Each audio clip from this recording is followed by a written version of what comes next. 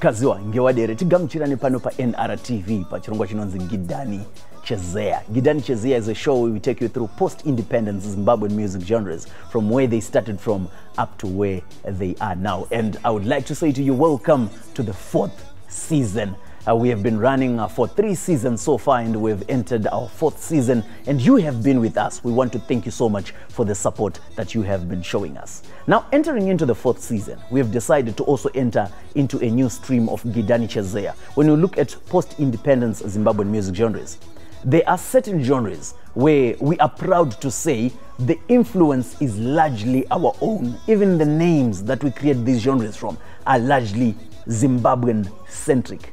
Let's talk about urban grooves. Exactly the point I'm trying to put across. Urban grooves is our own.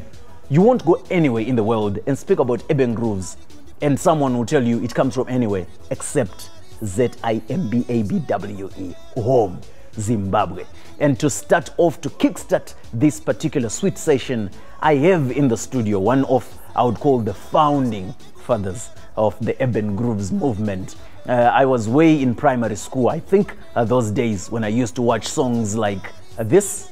iwe fadhai ukisia inini iwe fadhai taniwana ndesepo and this one. ari kundinyepera ari kundipomera ari kutsvaka mbiri senainai ashaya kwekuponera Do you remember these songs? Ndo masong amaidana nawo kana iwe fadzaya and i have the man in the studio today. Well uh, i bet uh, just like myself before i got to um, meet him in person and talk to him i bet newewo wanga usingazvizivi kuti anonzi alexio gwenzi. Well you know him as good child and we have him in studio today. Good child. Dara, it's good to see you man. Thank you so much. It's good to It's see you nice to be too. It's good to see you also to match the voice with the face. Thank you. Thank you. Appreciate it. Um, you, you know, there's something I've been saying a lot um, uh, to many of the guests that I have had on the show.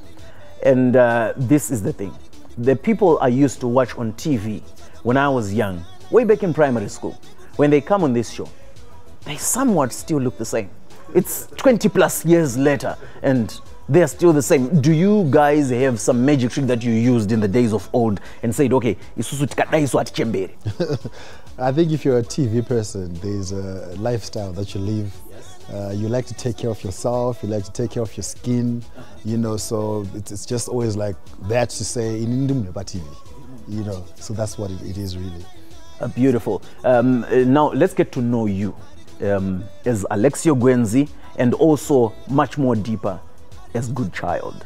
Uh, because I believe uh, there is a lot to learn about um, uh, this uh, body of a person and the body of an artist. Uh, would like to start, of course, with Alexio Gwenzi because before Good Child, there was just Alexio, yes? And um, let's get to know him if he has any musical background or if he is the founding father of music in his generation. Yeah, okay. So Alexio Gwenzi uh, was born many years ago. I grew up in Kwekwe, small town uh, in the ghetto. And um, when I was in primary school, most of my friends would go for rugby, hockey, cricket, tennis. But I always found myself in the choir. You know, we had this, uh, you know, music teacher. She was Japanese, called Mrs. Sato. And we were fascinated about the piano. So I would go for lessons, I'd go to see her play, you know, that kind of stuff. And when she left for Japan, another Japanese came, his name was Mr. Kato. And also, I was just there, I really enjoyed it so much. When I went to Iowa, I was at Quaker Junior, and then I went to Guinea Fowl high school in Gweru. And most of my friends were doing all these other things. I was doing drama and choir, you know. And our choir was number two, number one in national in national competitions. So that really fascinated me. I was, and also being in church, I grew up in the SDA, and you know eh, SDA and music. you know stereo my notes, no, you know that kind of thing. So that's that's that's my background in terms of music. No one else in my family has ever done anything to do with music, but uh, so it really began with me, and that's been Alexio Gwenzi, um, pretty much. Before Good Child, yes. So the transition from the Alexio who is fascinated about pianos uh, with Japanese teachers, um, joins choir, drama. How does he evolve into becoming Good Child? I then went to a school called Chaplin High School. Uh, oh my goodness, I shouldn't have gone to that school. So then I, people started calling me Asha because the way I would dress. You remember my durag? Nema studs, nema leather, my leather suit. Uza my leather suit aidapfekesa pane inonzi rexin inezia yaigadzikwa masofa ya sonesa suit bach netrousers nekabhutsu wana overall mas- ma- mastanas nema so people used to call me asha. Anyone who went to, to chaplin know who, who, who asha asha is. So um, and then those days there's also a group called shower power. So we would me and my four guys my friends would go would sing in church every sunday. Temba masongs shower power. And then kana kwatwa mavariety show ainzi magigs aya mav show aya ndinorwa masongs ana asha? And i know when i was at Guinea Fowl ndaimba futi masong ana degree ana bini man you know that kind of thing so ndatanga kunzi asha and then now around 2002 2003 that's when urban grooves really broke out. Tainzi kana decibel decibel just come out odious mtaurira thingoni kambarami ana happy birthday. Uh, nana plaxides wenyika and ana sani makalima iri ana delani makalima. Ah, that's when i went haywire I started writing songs in school. Ah, dzakatomudai nda- ndakazvifurira chikoro ndakatozvifurira chikoro so that's when I started, you know, I started writing songs. By the time I finished my A's, I had, I had already had a full album. You know, I was writing my own songs. Soon after school, then I recorded my album. So that's that's the transition from from that era to Good Child. Yeah. So- So uh, I, I thought, you know, when you were explaining, especially when you spoke about being a chaplain, kwaivhurwa hombe kwaitwa muskanzwa so you know what i thought i thought probably maybe you were transitioning from mfesi wepachaplain weasha uya and being ha mfesi wekuchechi chiwodzoka kunamata mwari saka wanga wa good child so good child was bad child Wrong direction. Eh? Wrong direction. good child was bad child direction. But you know what? Maybe you were going to ask me why Good Child. So so for me, I think I, you can you can attest to this. I've been that artist. But even if you Google, you never find any scandal. You know, H Metro, Zim whatnot. It's intentional. when I called myself a good child, I wanted to be a role model to the youngsters. I believed, you know, these youngsters always look up to you and want to emulate what you do. So I thought if I call myself good child, number one, I become a role model to the youngsters that look up to me. Number two, it sort of helps me to keep in line to say, E, by the way, did a good child. You know, so it really it really helped me to, you know, to sort of maintain that sort of good name and also be a role model at the same time. So we're going to take a short break, and when we come back, then we'll get to know uh, more about uh, him and his career. Also talking about uh, his first biggest break. How did he enter the scene and rock the place? But more after this short break.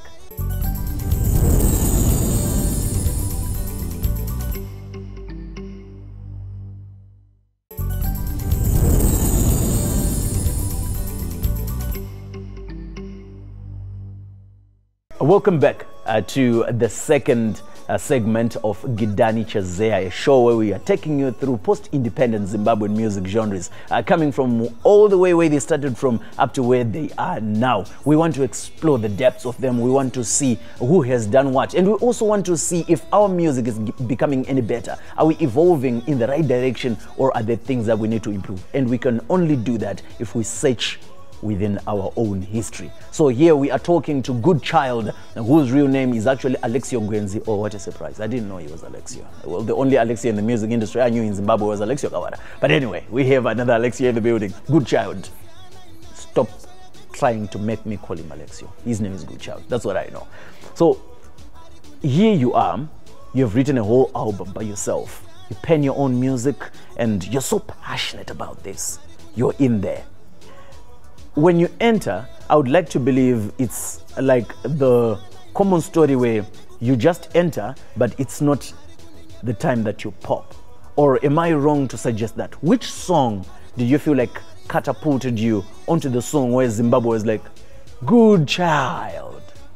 So you see, being in a small town, we knew that for you to be big in the music industry, you have to be from Harare. It was it was it was a, it was a sad and thinking about it, sometimes it gets me emotional. The amount of work we put in, um, and people just ignore you because you're not you're from Kwekwe. What, what is Kwekwe? You know, it was there's a time when it was really really difficult to break into onto the music scene. So for me, I was just doing it because I loved it, but I didn't really think people would notice. It's when I got a call, um, you know, from guys from one of one of the biggest TV stations. At that time, it was only ZBC. You know, to say, ah, so ngiyabeka penga. So when I took it to radio, that time Power FM was now in Gweru, and kwira train, kuenda Gweru, kunosiya CD, wobvoenda kudance. So for me, you know, you'd you, you'd submit your CD, then you go back home, listen to radio every single day, just in case one day. That I left my CD in Gweru.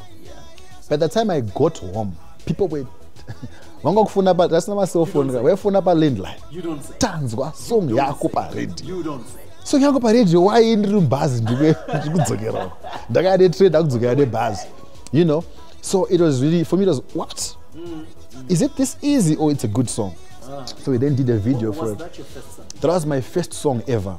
Iwe fadzai kundisiya inini you know?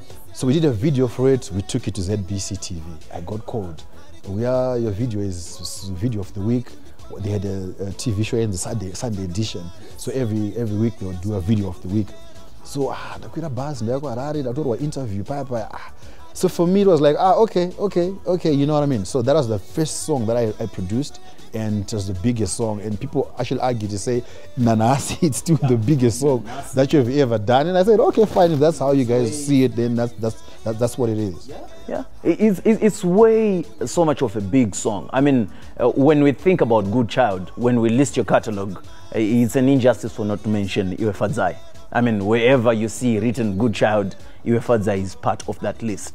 Uh, You see, and that's a good thing. Shout out to you and um, congratulations. Now you're here. We're talking to you. I was way young then, I would like to tell you, but we still vibed to that kind of music. Now, the, the interesting things that happened around that time, I want to understand the modeling of the genre of uh, urban grooves. Yes, as it uh, gradually became a much more accepted genre in Zimbabwe.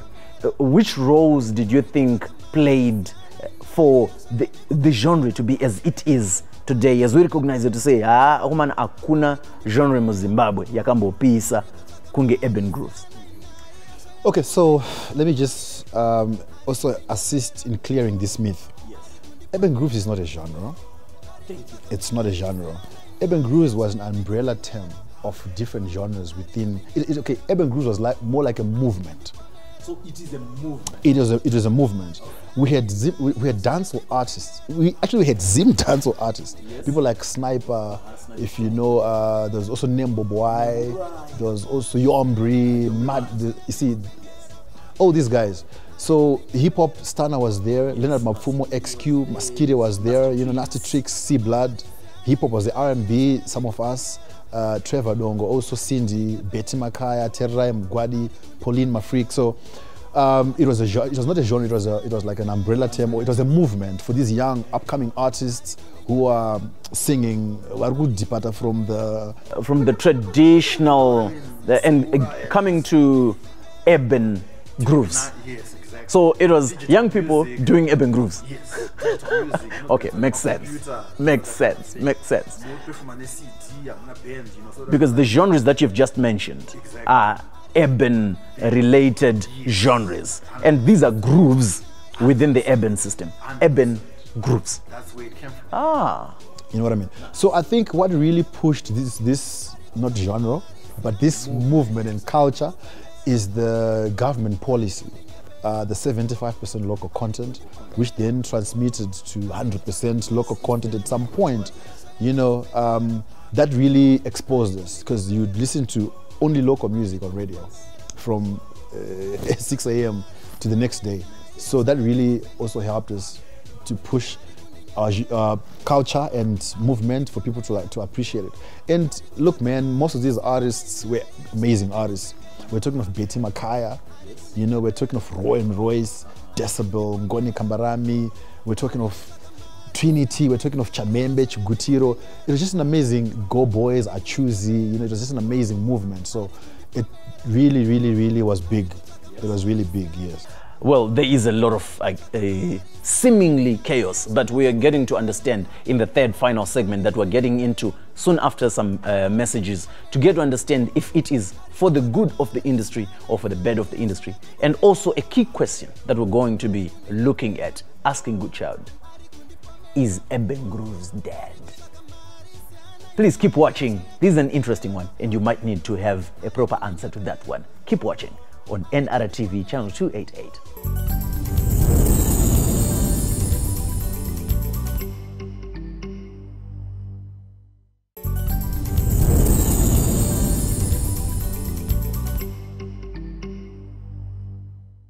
Welcome back to the third and final segment of Gidani Chezeya. My name is Mr. Dobie. Ndino wako haikunaotika kuna chinotikisa zvinotikisa zvese zvinototika wauona manje. We have good child in the studio and he has been telling us about some interesting things really uh, from how he was just Alexio Gwenzi uh, learning the piano in school um, and uh, transforming to a good child where he was penning his own music and then submitting uh, Iwefadzai um, at a radio station and then uh, everyone calling him Baba Tanzwa, namba renyu pa radio and all that. Um, and we also uh, discussed uh, what he thinks about um, Urban Grooves. And we also got to learn uh, that Urban Grooves is not actually genre. There are many genres under the umbrella of Urban Grooves. It's urban genres uh, that are being listened to by a group of young people. A movement it is. And now we are interested in knowing from Good Child a, a key question, uh, something interesting. We have been hearing uh, less of um, the old crop of artists, and whenever they come, it's one song at a distant time one song at a distant time. I understand you also have a new gem with Pachiera, eh, and um, these are some of the things I understand. Also, Cindy Munyavi has a, a new gem. Th- that's how we've been listening to you. Apo nepapo. Zvokuti vapana vakazozvarwa eh, after Urban Grooves, they might actually wonder. "Ta, Tim Ramurcho nderipi?" Uh, Does that mean that Urban Grooves is dead, or is there something that we are not really appreciating and understanding that's happening around the Urban Grooves movement? Okay, um, let me say the movement is, is dead. Yeah. The culture is dead. culture is. It's not there. But let's not talk about it like that. you know what I mean? Let me tell you. Urban Grooves created a platform for all these youngsters and Aholitin and Avos, these kids. Um, so for, for anyone in that category to say, uchiona mdara wako achifamba bvati mdara wangu akafa that's when you start doing my campaign ayana stop drug abuse and stuff because it doesn't make sense they're actually supposed to go back and ask for advice get wisdom on how they can handle some of these things urban grooves as a movement yes is dead but we've got artists who have stayed in it in the game for a long time people like an xq who are doing bigger than even some of these new kids you know what i mean? You know what i mean? So we, we cannot really say of course and also let me tell you this when we were doing urban grooves we were younger. No responsibility whatsoever ngomuka padenba moms uchibhadharwa rendo bvonzi wadya here? Eh, moms adya but umbomanya kustudio uzodya mani you know what I mean? You rush to the studio you go for shows uzokaineka plus break. Kane chichichi but wangosina ma-responsibilities but now people are growing up. Vamwe vane ma-families eh, ma-demands anowanda and unfortunately for industry in zimbabwe we're still lagging behind even the amount of money that we make as artists.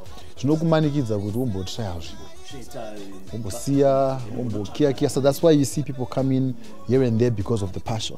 You know what i mean? But uchifocuswa mune zvimwe zvinhu Focus is now yes. so that's why you see less of the artists um, from the old era really really focusing on on music production.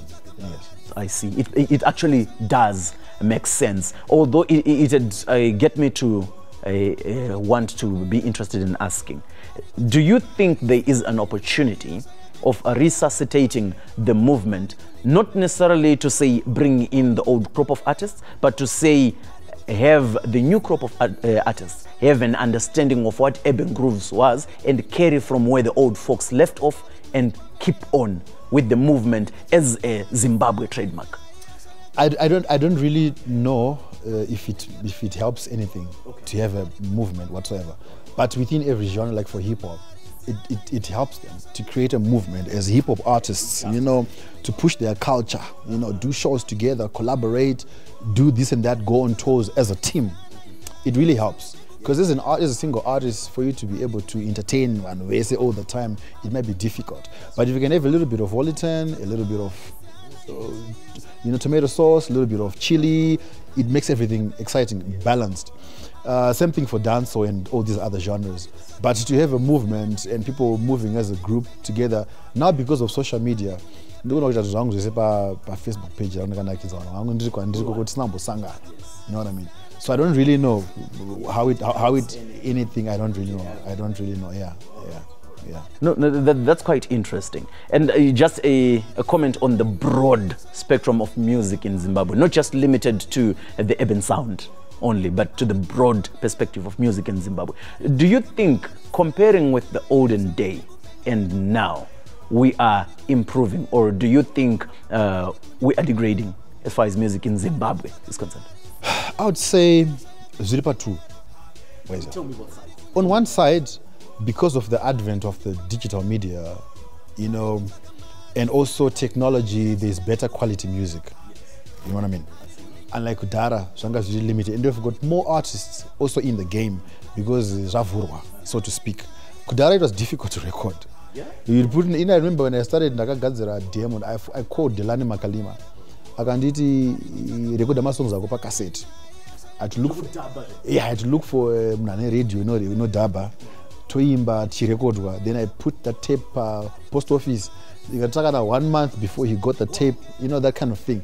You put an appointment three months before but now there's a studio everywhere and there's better quality music. So i think it's improved and also there are better platforms to distribute music like apple spotify even your facebook page. You can share your music. Wegadzira nhasi makuseni manheru zimbabwe yese yatone song. So i think in terms of platforms and distribution i think it's improved um, but I think I'm, I'm worried on the other side. I'm worried now the quality of the music. People are just jumping into the studio. You know, two minutes, and after a month song yake achatonakidza yatopera.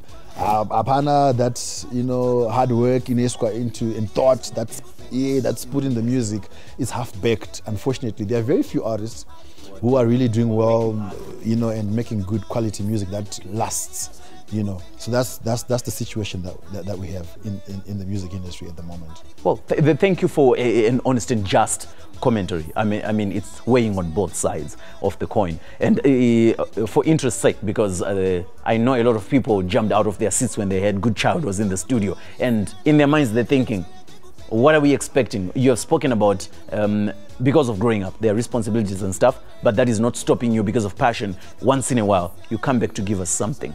What are those some things that we should be expecting from Good Child? i've done a should i say banging collaboration with t. Gonzi. Yeah. a song called fire fire. The video is on youtube. You can go and check it out. I've just done another collaboration with pachera. We're working on the video. It's going to be banging no doubt. It's coming soon. So i think um, you're going to be seeing more of those collaborations videos collaborations videos. That I, I think basically that's what you can expect from me. Beautiful. A quick one as we are rounding up. Social media is what we're doing now. Where do we find you? Right, my Facebook page is Good Child, G O O D C H I L D. And then my other social media platforms, Instagram, Twitter, it's at Good Child GC. One word, Good Child GC. Beautiful. That has been a good child, Alexio Gwenzi. And thank you very much for watching. We appreciate um, the effort that you do to sit down and then watch and listen to these conversations. And we believe you're also learning something from listening uh, to this rich history of Zimbabwean music. This is Gidani Chezeya, and you watch it uh, every Monday uh, from 5 p.m. here on NRTV, DSTV channel uh, 288. From me, Mr. Dobie Babawako, we're out.